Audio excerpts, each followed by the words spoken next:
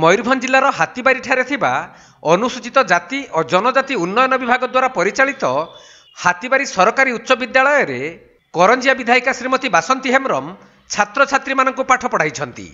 ଯାହାକି ସେ ବୁଧବାର ଦିନ ହାତୀବାରି ଅଞ୍ଚଳକୁ ଗସ୍ତ କରିଥିବା ସମୟରେ ଅଚାନକ ସ୍କୁଲ ଭିତରକୁ ପଶିଯାଇଥିଲେ ଏବଂ ସ୍କୁଲର ସମସ୍ୟା ବୁଝିବା ସହିତ କିଛି ସମୟ ପାଇଁ ଛାତ୍ରଛାତ୍ରୀମାନଙ୍କୁ ପାଠ ପଢ଼ାଉଥିବାର ଦେଖିବାକୁ ମିଳିଥିଲା।